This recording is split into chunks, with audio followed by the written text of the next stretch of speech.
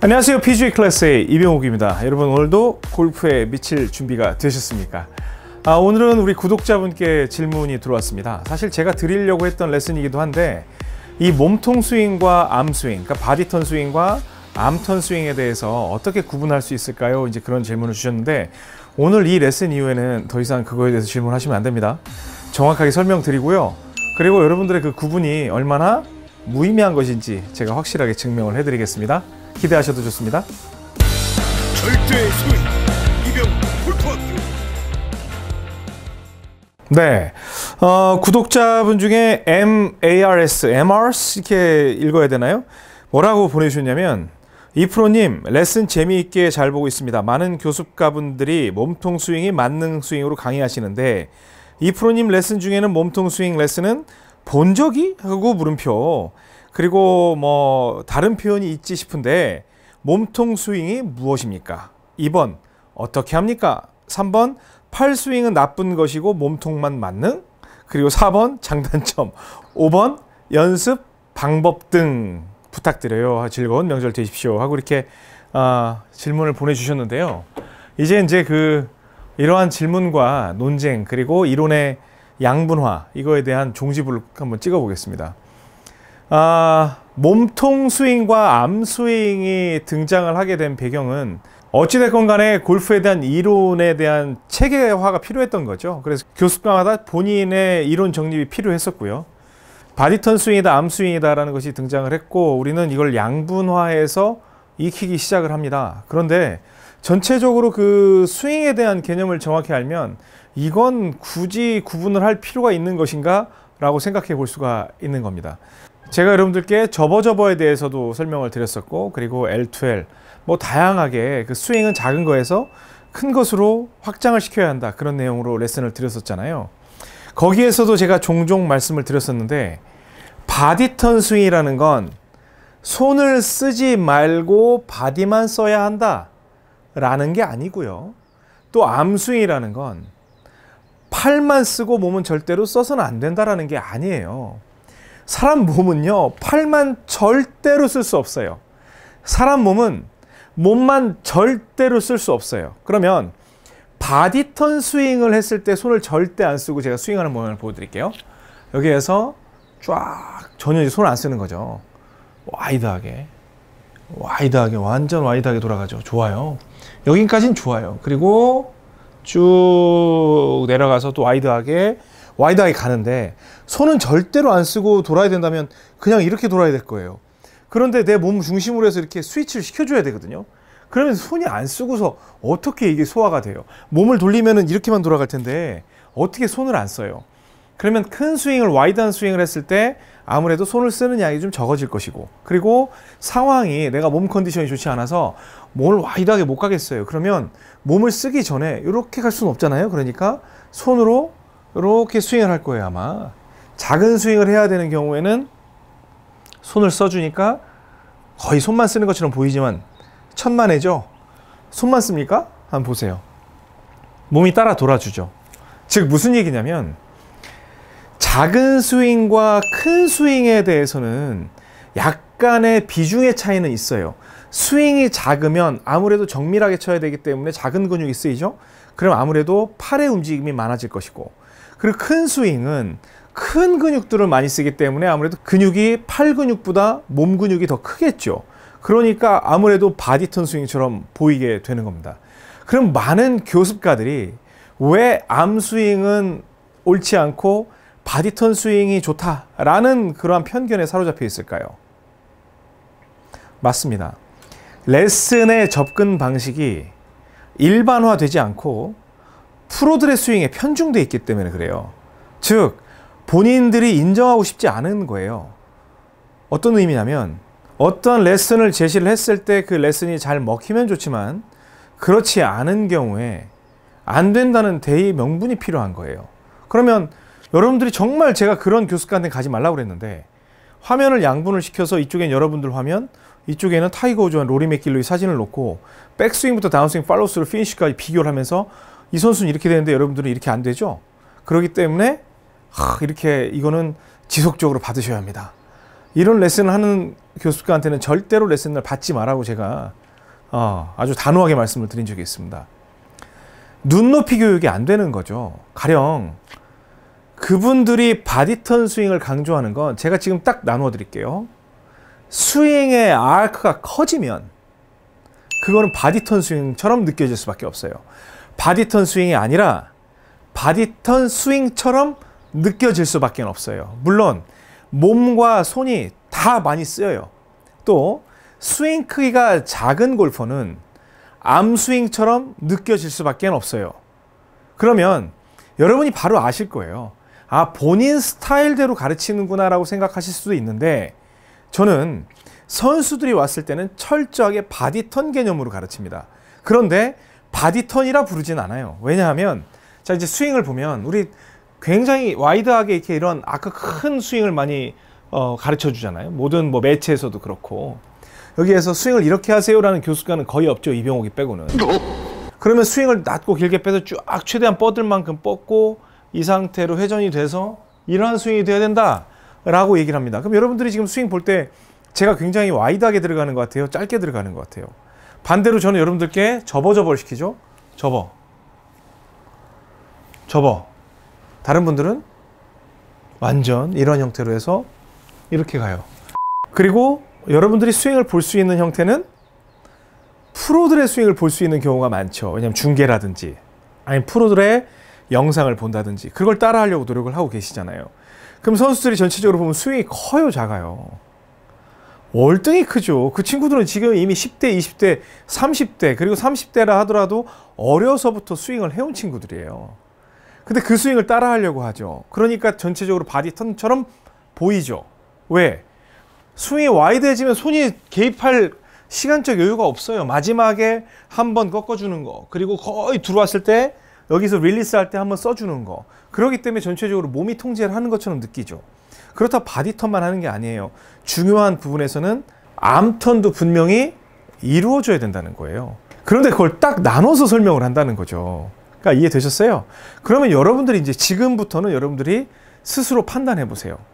내 스윙이 찍어 봤더니 정말 공이 잘 맞을 때가 쫙 뻗어서 꺾고 다운스윙을 해서 release를 쫙 뻗는 형태로 갔을 때가 공이 잘 맞는다. 그런 분들은 body turn 위주의 스윙을 하고 있는 거예요. 근데 그 흉내는 냈는데 난 죽어도 공을 못 맞추겠다. 그래서 이병옥이가 알려준 대로 그냥 무슨 옹졸해 보이지만 접어 접어 딱 이렇게 했더니 너무 공이 잘 맞더라. 그러면 여러분들은 arm turn 위주로 치는 거예요. 그런데 거기에서 누가 주가 되느냐예요. 어, 큰 wide한 스윙, 그러니까 wide하게 돌아가는 이러한 스윙에서는 전체적인 큰 근육 형태가 대체를 움직여주기 때문에 body turn처럼 느껴지는 거고, 그리고 여기에서도 만약에 작은 스윙의 형태가 되면 몸의 움직임보다는 팔의 움직임이 크게 느껴지니까 arm 스윙처럼 느껴지는 거예요. 그러니까 저는 그렇게 생각을 합니다. arm 스윙과 body 스윙을 나누는 그 기준조차도 굉장히 모호하고 예를 들어서 스윙이 한 이 정도로 갔다고 생각을 할게요. 저는 지금 딱 중간치라고 생각을 하거든요. 그럼 이건 body turn이에요, arm 스윙이에요. 완전히 여기서 이렇게 간다면 저는 body turn이라고 인정을 하겠어요.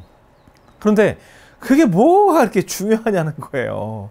여러분들이 스윙을 크게 하면 당연히 몸이 많이 쓰이기 때문에 팔의 느낌이 적어질 것이고 스윙이 작은 형태면 팔의 쓰임이 많아지기 때문에 몸의 쓰임이 덜 느껴지는 것 뿐이라는 거예요. 그러면 여기서 그러죠. 오, 그래도 body turn 스윙을 해야지 안정되게 나간다는데? body turn 스윙을 해야 안정되게 나가는 게 아니라 body turn 스윙을 여러분이 할 수 있어야 안정되게 나가는 거죠. 여러분들 유연성이 되지 않고 근력이 그만큼 버텨주지 못하는데 body turn 스윙이 어떻게 여러분 거예요? 여러분들이 그렇다고 그 근육은 쫙쫙 늘어나진 않아도 난 이만큼은 늘어나 나는 으아!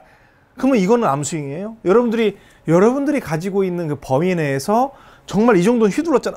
덜덜덜덜 떨릴 정도. 프로 선수들은 이 정도는 그냥 막 무슨 어 휘두르는 것 같지도 않은 그 정도지만 여러분들은 덜덜덜덜 떨리는 정도다. 그럼 이게 body 스윙이 될 수 있잖아요. 앞으로는 이거를 구분을 짓지 마세요.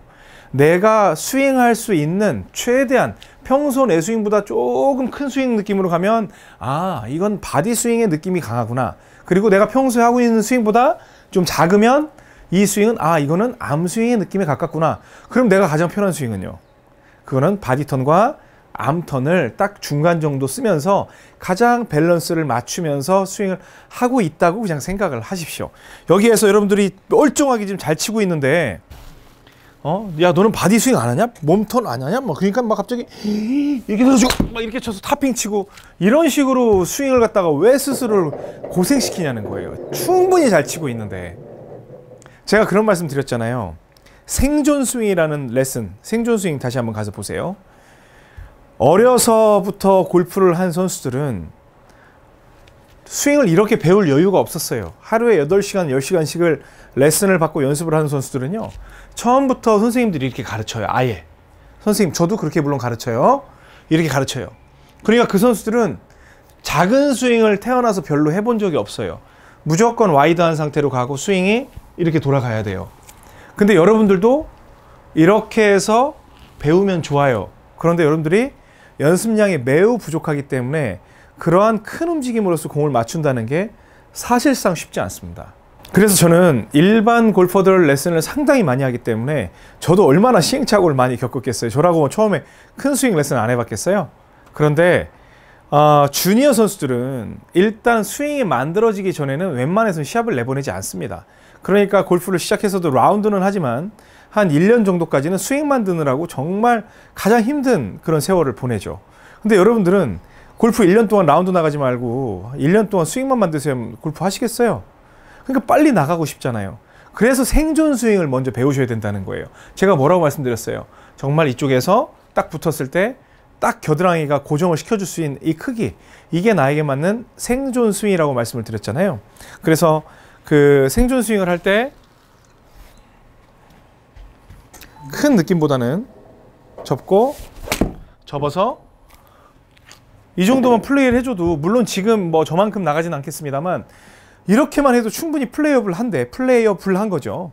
그런데 이걸 갖다가 굳이 넓게 해서 못 맞추고 topping에 뒷땅에 shank에 그럼 얼마나 좌절스럽냐는 거예요.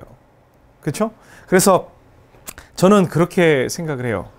아, 무조건 body turn을 강조하는 선생님들은 틀렸다는 건 아닙니다. 그 레슨 내용이 궁극적으로 보면 맞지만 어, 과연 그게 눈높이 교육일까? 그렇게 생각을 했을 때 그거는 여러분들이 판단하시기 바랍니다. body turn 스윙, arm turn 스윙 이거는 그냥 어떠한 어, 이론적으로 구분을 지은 거지 어떻게 팔만 쓸 거며 어떻게 몸만 쓰겠냐는 거예요. 하지만 어떠한 비중이 더 크다라고는 표현할 수 있지만 내 중간 스윙 제가 결론을 내려드리면 body turn 스윙도 아니고 arm turn 스윙도 아니고 내 가장 일반화된 스윙은 바디턴과 암턴의 딱 중간 위치에 있어야 돼요. 그게 어디냐면 middle iron 정도 치는 정도의 스윙 크기를 말해요. 그러니까 여러분들이 7번 아이언, 6번 아이언, 8번 아이언 정도 치는 크기는 body turn과 arm turn, 손과 몸을 그냥 편하게 쓸 수 있는 정도의 위치에 놓여 있어야 돼요. 그래서 롱아이언으로 갈 때는 평소에 내 생존 스윙 7번이 한 요 정도였다면 뭐 롱아이언, utility 클럽, 뭐 페어웨이 우드 드라이버 갈 때는 좀 wide하게 그거보다 좀 더 가서 아 평소 내 중간에서 몸 쪽에 비중을 더 두자. 그리고 8번 아이언 밑에 9번 피칭, 뭐 어프로치 웨지, 샌드 웨지, 뭐 lob 웨지 갈 때는 조금 더 아, 손의 비중을 더 키우자. 이런 식의 기준이 명확하게 있는 게 좋지. 아니야. 나는 샌드에서부터 드라이버까지 body turn만 해야 돼. 아니야. 나는 샌드에서 드라이버까지 팔 스윙을 할 때가 제일 편해. 이렇게 나누는 것보다는 제가 말씀드린 대로 그 기준을 가운데를 정해놓고 조금씩 늘리고 조금씩 줄여줬을 때 다양한 클럽을 소화할 수 있다. 그게 오늘 제가 여러분께 드리고 싶은 결론입니다. 오늘은 뭐 공을 이렇게 치는 것보다는 정확하게 어떠한 뜻이다라는 것을 드리고 싶었기 때문에 그렇게 이해해 주시면 될 것 같습니다. 제가 오늘 너무 스윙을 안 했기 때문에 기본적인 스윙만 슬로우 모션으로 보여드릴게요. 여기에서 우리가 생존 스윙이 이 정도였죠. 그러면 이거는 생존 스윙이라는 건 가장 작은 스윙이잖아요. 거의 short iron을 치는 그런 개념의 스윙일 테니까 이거보다 약간 든 형태, 겨드랑이가 약간 든 형태 이걸 만들어 보는 거죠. 그래서 이제 날날 스윙 다 알죠. 이렇게 면으로 가는 게 아니라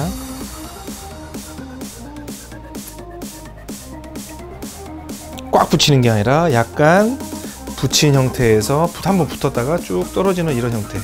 이게 한 7번 스윙 정도 될 거예요. 그리고 역시 마찬가지 유지하고 날로 내려오죠. 임팩트 여기서 임팩트 면을 생각할 필요 없어요.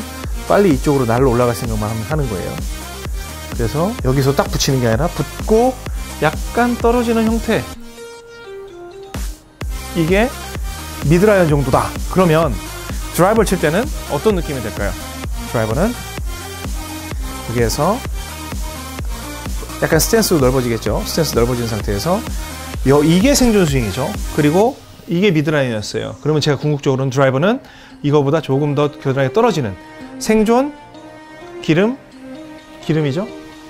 자, 그러면 여기서 이것도 마찬가지예요. 면은 없어요. 전체 전체적으로 그 크기 생존 스윙으로 들어가면서 여기서 생존 스윙으로 날로 들어가면서 처음에 작은 느낌이 들 수도 있죠. 그런데 얘 떨어지고 여기서부터 떨어지고 떨어지고 떨어지고 떨어지고 떨어진 형태 디디고